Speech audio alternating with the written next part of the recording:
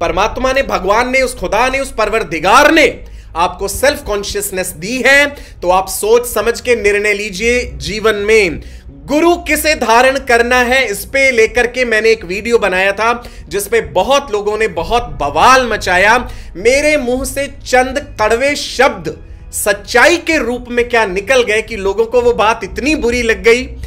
मैं फिर से कहूँगा, सही गुरु का चुनाव करने के लिए जरा अपनी अकल का इस्तेमाल ज़रूर कर लीजिए। बहुत से सो कॉल्ड एजुकेटर्स को मेरी कही हुई बातें बुरी लग गई थी। भैया तो मैं हमेशा कहता हूँ I am a bitter antibiotic antibiotics कड़वी ज़रूर होती हैं, इलाज एकदम सटीक करती हैं।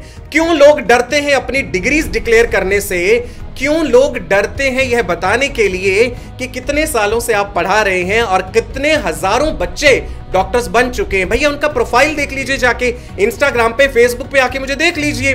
जितने हज़ारों बच्चे मुझसे पढ़ के वेल एस्टेब्लिश डॉक्टर्स हैं, वो स्वयं ही प्रमाण है उस चीज़ का। कहते हैं, हाथ कंगन को आरसी क्या और पढ़े लिखे को फारसी क्या। बहुत लोग हैं दुनिया में नेगेटिव भी बोलते हैं जी। कहते हैं कि आप जो है, बदनामी तो कर सकते हैं, पर आप बराबरी नहीं कर सकते। यदि आप लोगों में दम है, जो सेल्फ एजुकेटर्स हैं अपने आप में तो आप बराबरी करिए। बदनामी नहीं करिए उससे आपको कुछ हासिल नहीं होगा। राइट जी? चलिए।